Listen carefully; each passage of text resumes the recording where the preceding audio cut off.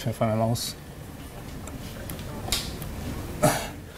Okay, so hi everyone, this is my first time speaking. Um, I'm Jacob, so I'm going to talk about how front-end development is hard. Can you, can you hear me? Is it okay? So, um, well, alternative topics to this talk were actually like, um, should I do something about grid, CSS grid, uh, something related to CSS or front end. If not, um, why even agree to talk, uh, talk CSS? Um, so, so what happens was I was supposed to speak at the previous one, but I, I pulled out last minute because of, of work. so yeah, um, a bit about myself. I'm a uh, front-end developer at Minitheory. Um, I tweet on Twitter and uh, I write on Medium. So I have some quite interesting posts there. So do check it out. Okay, so topic for the day: front-end development is hard. Um, it is time to actually address the elephant in the room that uh, front-end development is actually indeed hard. Um, why is it hard for, for something that you can actually learn at like a code uh, coding bootcamp in like maybe six six weeks, um, and with such low barrier to entry, why why is it hard? Um, so I've been a front-end developer for close to about four years, so I have a bit of experience. Um, yeah. So let's look at the um, three core pillars uh, in front end. Um, we have HTML, you have CSS, and um, you have JS. And uh, these three core pillars are actually um, the three important uh, tools that any um, front end developer would need uh, to start their front end journey. And um, so why is it hard? Often we get asked these questions. Uh, isn't it just CSS, HTML, and JavaScript? Um, can you change this checkbox into a red button? Or can you give me an estimate on how long can this will take? And um, often at times the answer is nope. So let's have a look at uh, HTML. So HTML, it's um, here to make life difficult. Um, the D is silent. Um, so no, no. HTML is actually a hypertext markup language, which is the, uh, the markup used to creating uh, websites and web pages. Um, so within HTML, we often have to choose between um, two sort of structures. One being on the left, where you can see it's uh, the ambiguous structure, uh, aka the div soup, and on the right, um, you have slightly more identifiable sections. Um, you have a header, you have um, article and a footer. And um, so on the right, it, it's, it's, it's what's known as a semantic HTML. And um, why do we choose the one on the right? Uh, that's because um, for accessibility purposes, really.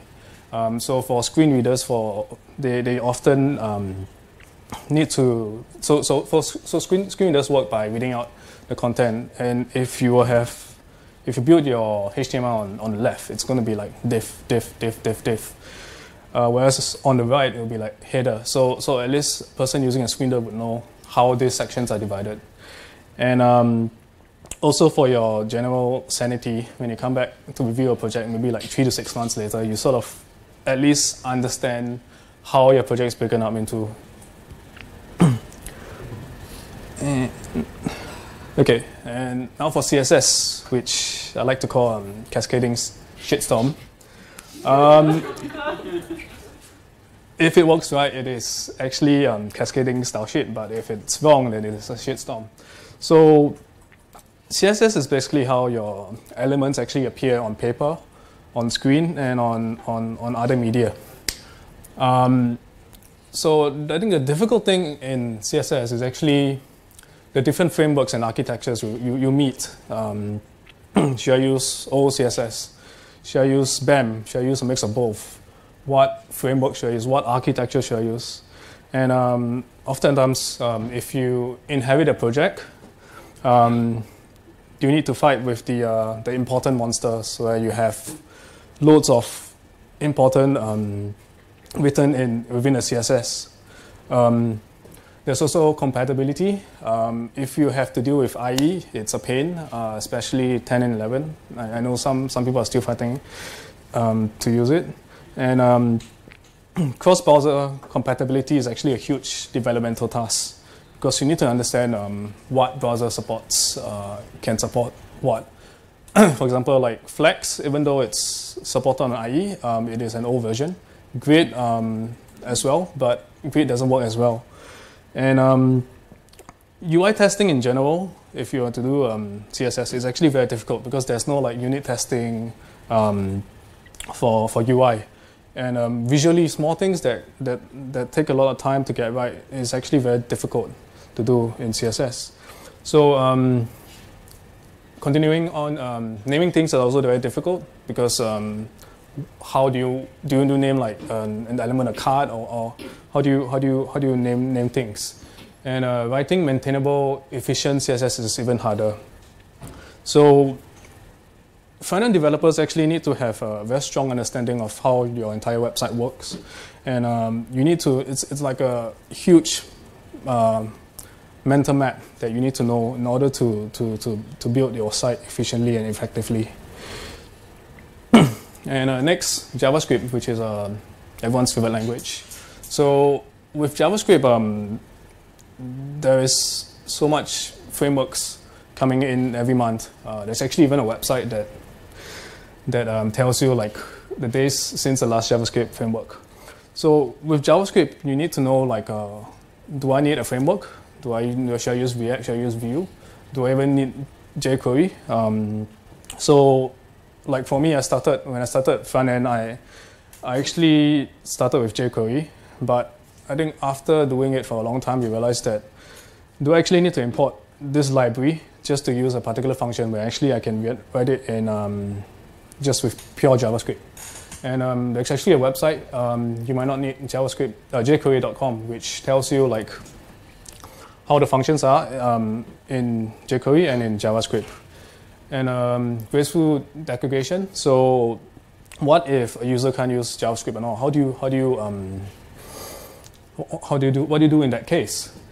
And um, also managing state without a framework is hard. So if you ever tried to say, show or hide a particular um, element, and you do that for like, say, 10 pages, that's, that's, that's a real nightmare. So that's just it, right? No.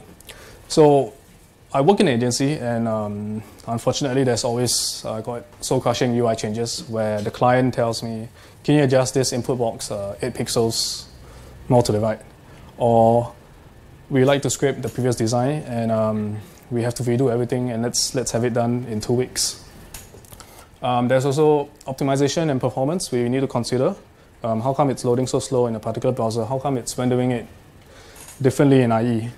And um, the question that my project manager likes to ask, can you give me an estimate on how long this will take? And that's just it, right? Uh, there are other, no, there are other things like frameworks, libraries, people are saying dependencies, plugins, um, understanding user experience. And uh, again, the same dreaded question, can you give me an estimate of how long this will take? So what can we do about it? I mean, the brutal honest answer is to not be a front-end developer because I think we chose, we chose this career to, to, to solve, solve problems. Um, we are the bridge between designers, backend, and people with different disciplines. Um, building websites is about marrying the three, the three languages, which is HTML, CSS, and JavaScript together. And um, educating people on why front-end development is hard, because it is development. And, um, and also, it's good to know that front-end development is often um, a process of discovery.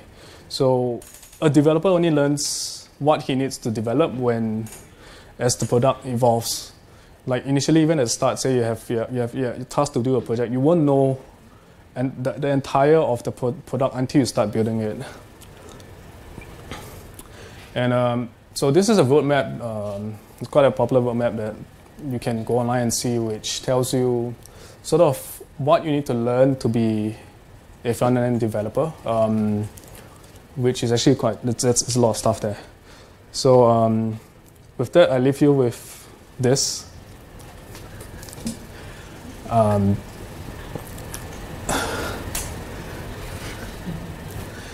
and yeah, that's it. Thank you. Any questions? The questions been chocolate? Do you have any advice to make it a little bit easier? To sorry, to what? Like, do you have any advice? Like, how do you make the run a bit easier? Mm, I mean, it's.